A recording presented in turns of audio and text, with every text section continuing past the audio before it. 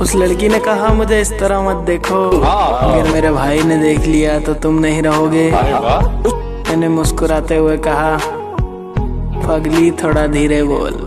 अगर मेरे दोस्तों ने देख लिया तो तेरा भाई नहीं रहेगा। ओए सुन। अगर मैं मर जाऊँ ना तो ये सोचकर मत रोना कि मैं मर गया। ये सोचकर खुश हो जाना कि ज़िंदगी से एक टेंशन कम हो गया।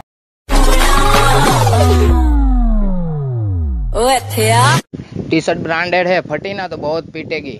माँ कसम।